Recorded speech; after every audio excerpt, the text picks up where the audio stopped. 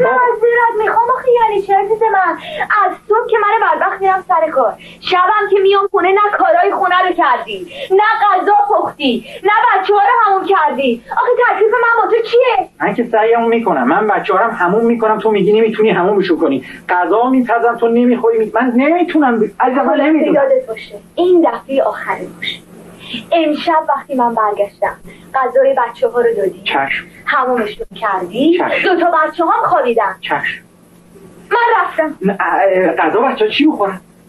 غذایی چیز از بیرون بگو براشون بیارم.